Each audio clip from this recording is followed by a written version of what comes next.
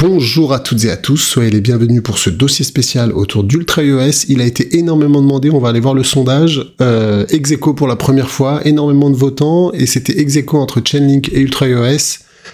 Eh ben, vous connaissez, je vous ai fait les deux dossiers, Chainlink il y a deux jours, Ultra iOS aujourd'hui, et je pense que c'est le moment parfait de vous parler d'Ultra iOS parce qu'il a énormément baissé pendant deux ans, et là, enfin, on vient d'avoir un signal qui vient de flasher green cette semaine, en direct, on va aller le voir, et c'est une, euh, un super bon timing pour éventuellement se positionner sur ce token.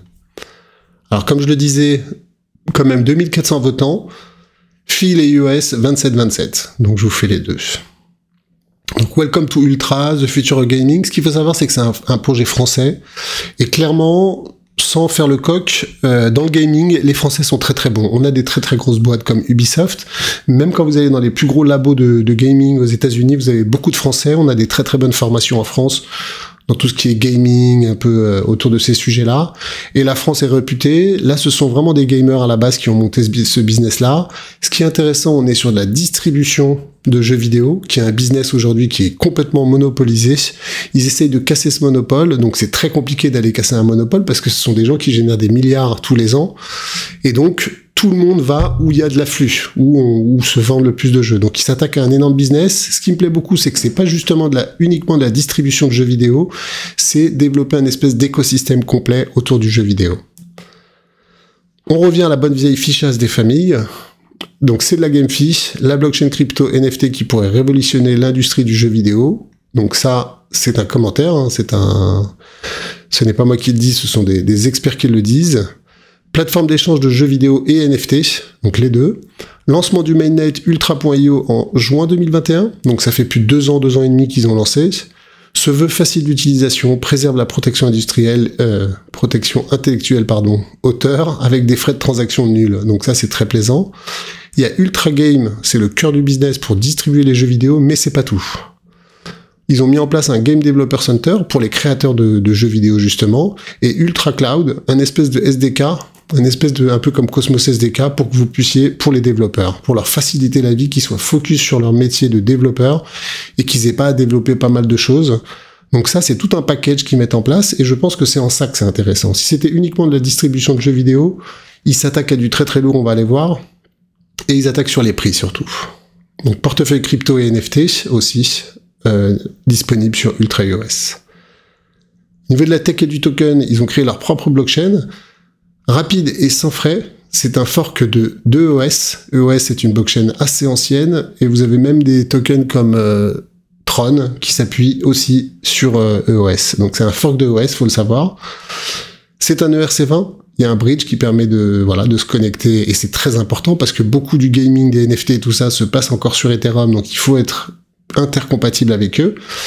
Ce qui est aussi plaisant, c'est que c'est développé en langage C++, qui est un langage ultra ultra répandu euh, sur Terre, et donc facilité de trouver des, bah, des, experts de ce langage.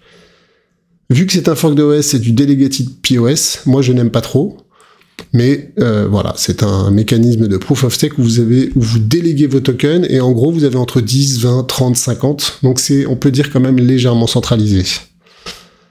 Ce qui est bien, c'est qu'on gagne des tokens en, participant à la vie de la plateforme. Possibilité aussi, quand vous achetez des jeux, bah, les vendre un peu comme un marché parallèle de l'occasion. Possibilité de vendre des jeux vidéo achetés sur la plateforme. Aujourd'hui, ce n'est pas possible, par exemple, sur les plateformes euh, comme, comme Steam. Ou le nerf de la guerre pour leur business, c'est des frais de 12 à 15%. Donc, c'est vraiment ça le secteur, et c'est en ça que certains projets blockchain sont intéressants, comme Phil d'ailleurs, dont on a parlé il y a quelques jours, c'est d'être ultra compétitif sur les prix. Donc ça va mettre du temps parce qu'aujourd'hui Steam c'est 30% de commission, donc c'est beaucoup moins cher, mais tout se passe sur Steam. Ça veut dire que la majorité des, des, grands jeux qui sortent, ils vont tout de suite sur Steam, parce que c'est là-bas qu'il y a des millions d'utilisateurs et tout ça. Donc ça va être ça le nerf de la guerre. Est-ce que ça va prendre sur Ultra iOS? Impossible à dire. Au niveau de l'équipe, c'est une grosse équipe. Les deux fondateurs sont deux gamers, et ils sont associés à des gens du business. Voilà, des gens qui connaissent vraiment le business. Au niveau des perspectives, ce qui est intéressant, c'est un partenariat avec Ubisoft, donc ça c'est super intéressant. C'est un éditeur de jeux français, et AMD, AMD aussi. Ils ont lancé en 2022 une version bêta de la marketplace NFT, j'attends la version finale. Et ensuite, ils ont sorti des 10, 10 uniques gold et d'autres séries, accès privé à des jeux, donc voilà, ils essaient de faire aussi des espèces de clubs. Catalogue de jeux, ça va être le nerf de la guerre, bien évidemment. Il faut que les jeux viennent sur la plateforme, il faut qu'il y ait beaucoup d'utilisateurs. Et c'est pas simple, parce que pour qu'il y ait beaucoup d'utilisateurs, il faut qu'il y ait beaucoup de jeux. Et pour qu'il y ait beaucoup de jeux, bah, les jeux, ils, vont demander à la plateforme combien vous avez potentiellement d'utilisateurs. Donc ça se mord un peu la queue. Ça va être ça le plus dur pour, euh, pour Ultra iOS. Aujourd'hui, il y a un monopole de Steam, hein, tout simplement, mais vous avez aussi Xbox, iOS, mais Steam, c'est vraiment le leader. Ils prennent 30% de commission. Chez Apple, c'est un standard, c'est 30% aussi, parfois même c'est plus. Donc, ça peut être vraiment un énorme business, mais il va falloir faire basculer les jeux petit à petit euh, dans le monde Ultra iOS. C'est vraiment ça l'indicateur qu'il va falloir suivre. C'est les jeux qui arrivent sur la plateforme Ultra iOS. Parce que plus il y aura de jeux, plus il y aura d'utilisateurs et on rentre dans un cercle vertueux. C'est un marché monstrueux, 32 milliards, 2,7 milliards de joueurs dans le monde. Le gaming, ce n'est plus que des geeks aujourd'hui, c'est monsieur et madame tout le monde, des gens de 7 à 77 ans comme on dit, et donc euh, c'est un marché en plus qui ne va pas arrêter de croître. Je crois que le marché du jeu vidéo aujourd'hui, c'est plus fort que le marché du cinéma. Ils sont listés sur les plus grosses plateformes, pardon, donc ça c'est une très bonne nouvelle aussi. Au niveau de la tokenomique, moi personnellement je trouve que c'est pas une super tokenomique. Il y aura un milliard de tokens, il y en a 352. Ce qu'il faut savoir, c'est qu'il y a beaucoup de tokens qui sont liés à la vie du jeu. Des rewards, euh, différentes composantes, donc ils vont pas être émis comme ça euh, de manière très violente. Mais mine de rien, on note qu'il y a 35% des tokens qui sont émis. Donc il en reste beaucoup. Après 35% des tokens, c'est pas beaucoup dans un marché bull market, et si ils, abusent pas trop des ventes pendant le bull market, ça peut avoir un impact plutôt mineur. Mais faut le savoir, potentiellement, vous avez 65% des tokens qui peuvent être sortis. En termes de perspective, vous voyez bien qu'on est au plus bas, et on va aller voir, c'est assez évident au niveau graphique, mais classique, hein, grosse baisse, range, et on est en train de l'exploser tout simplement. Donc UOS, c'est très très loin, c'est tout petit dossier à 90 millions. On verra, bah, en tous les cas, ça vaut beaucoup plus cher. En fait, ça vaut 260 hein, quand vous diluez. 260 millions, c'est pas pareil. En termes de perspective, est-ce que ça peut faire x10 Oui. Est-ce que ça peut faire x100 Je sais pas trop. Parce que tomber sur des 26 milliards, 26 milliards des tokens comme IMX, pour moi, ils peuvent y aller, assez facilement même. Euh, Ultra iOS, je ne sais pas trop. Mais en tout cas, faire des x10, des choses un peu au-dessus des x10, c'est complètement faisable parce que ça a 26, son ancien, son précédent plus haut, bah, c'était justement, ça fait x10, ça va toucher son ancien ATH. Et après, impossible de dire, vous le savez, est-ce que ça va aller à 3, à 4, à 5, à 10 C'est impossible à dire. Maintenant, x10, c'est assez, euh, assez réaliste quand même comme performance. Ils ont sorti leur mainnet euh, depuis plus de deux ans, donc le business doit commencer à se développer. 90 millions 2,41 millions, c'est des très très beaux volumes. Et je vais vous montrer quelque chose, c'est le cadeau. Voilà.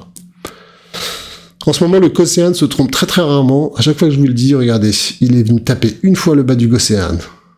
Deux fois, là il est rentré dedans, il s'est fait retracer. Troisième fois, alors certains vont dire peut-être qu'il va se retourner, mais là c'est différent parce qu'il a confirmé. Ici il a juste touché le bas, là il a même pas touché le milieu. Là il a explosé le bas et tout de suite il est en train de toucher le milieu. Le haut, et ça peut aller assez vite. Pour moi, c'est à 0,34. Et après, ça peut être du grand n'importe quoi. En tous les cas, le rouge, il va passer au vert, il va commencer à passer au-dessus et tout ça. Ça va pas partir comme ça tout droit. Hein. Ça va partir, ça va rebondir, exactement comme l'a fait le Bitcoin, souvenez-vous.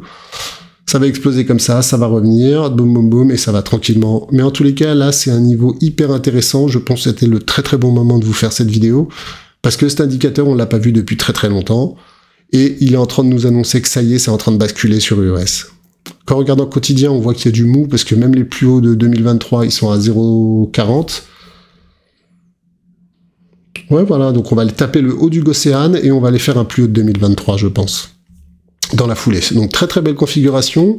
Après, c'est un pari, clairement. C'est clairement un pari. Est-ce qu'ils vont réussir leur pari? Bah, faut suivre euh, les jeux qui arrivent, le nombre d'utilisateurs sur la plateforme et tout ça. Mais en tous les cas, je trouve que c'est un très très beau pari et surtout techniquement, graphiquement, je trouve qu'il y a une très belle opportunité. Et donc, ce sera tout pour moi. J'espère que ce dossier vous a plu. Si c'est le cas, n'hésitez pas à liker, vous, vous abonner, pardon. Je vous dis à très bientôt. Ciao toutes.